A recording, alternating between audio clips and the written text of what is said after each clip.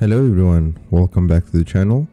In this video we are going to be making an update video with regards to the UPS system that is sold by Wealth Minister. So many of you have asked me to change the settings in order for it to be able to trade things like NASDAQ since the initial software was only for currency pairs. So instead of purchasing it from Wealth Minister with the settings for indices I have created my own and you are more than welcome to use it yourselves. So right now we are in the MetaTrader 4 platform and if you were to just apply the Wealth Minister software you'd get something like this. And this isn't very tradable so you would need to make some adjustments to the settings. So I have made a preset so that you can just apply this to the indicator and then it will automatically adjust to the settings that I have applied to my own one. So right now these are the initial settings that the indicator comes with and now I will show you what it looks like after applying my template or preset rather.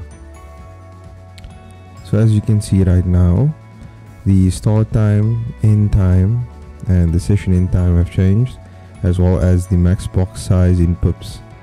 So this is what calculates your breakouts and that is what the Fibonacci is based off on with, with your entry buy and entry sell levels. So all this does is it changes the breakout box so that it accommodates for higher volatility. So since Nasdaq is a lot more volatile than currency pairs since it is right now 16,000 compared to something like currency which would be a 0.5 or along those lines. So now after applying the updated settings we can see that we have a much nicer looking chart. The breakouts over here are now limited to that 10,000 pips but it only occurs every once in a while where they hit that max limit but it is a lot better than the initial indicator would have been had you not applied the settings to it. The time frame that I was using when I was back testing the adjusted settings was the 15 minute time frame.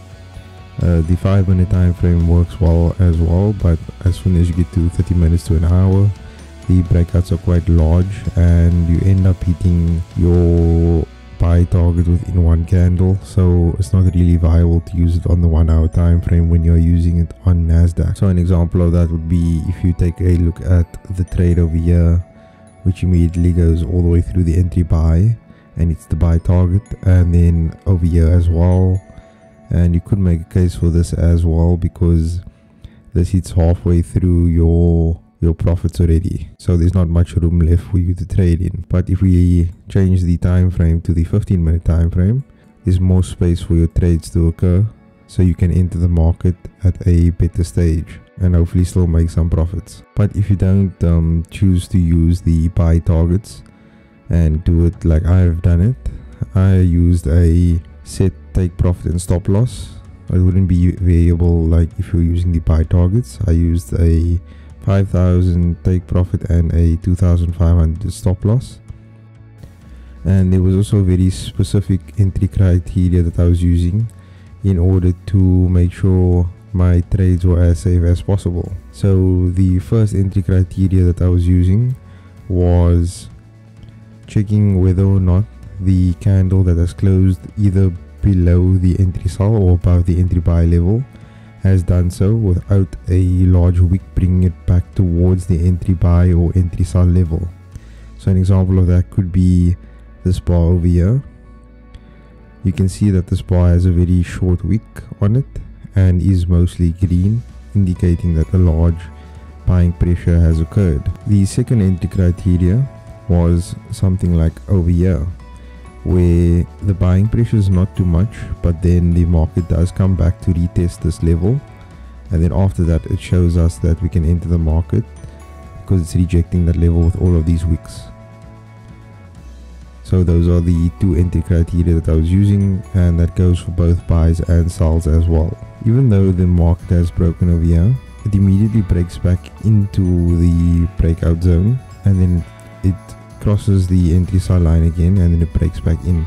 It's not following the pattern that we would like which is it breaks out and then retests the level or it breaks out with enough selling power for us to take a safe sell trade.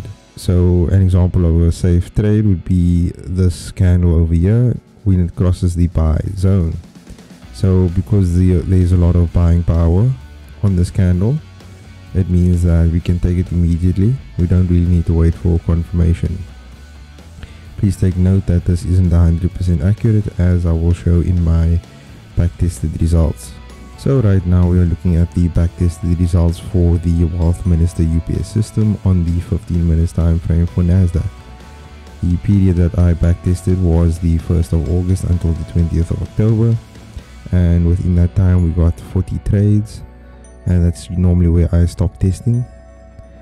So of the 40 trades we can see that 13 were losses and 27 were profitable leaving us with a win rate of 67.5% and that gave us a total profit of around 1450 rand. Bear in mind that the testing was done using the lowest lot size of 0.01 if you'd like to use larger lot sizes you are more than welcome to that just means that your profits and losses will increase 10 times every time you move from 0.01 to 0.1 and from 0.1 to 1 so just a final recap of what we look for before we make an entry. We are either looking for a candle with a lot of buying or selling power in order to enter the market immediately or we are looking for the candles to break through the level but then come back down and retest it so that we can take a trade. We are not looking for something that hovers around the same level. So something like this where the candles break out and then it comes back to test the level and then the market rejects the level giving us the indication that we can take the buy. Just please note that some of these entries are highly volatile as you can see over here. Even though the trade plays out this would still count as a loss if you're using my stop loss because I'll show you in a moment that this candle wick over here would wick you out before you made any profit on it. So this candle wick is around 2700 pips and if you're using my stop loss that would mean that you will be out of the market before you are able to make any cash. So just take note of that when you are trading nasdaq on the 15 minutes time frame or the 5 minute time frame because the results are very similar on those two time frames. There will not be a rating or a download section. All you need to do is watch the previous wealth minister video and follow that same links and in that google drive folder i will place the template for the nasdaq settings as well.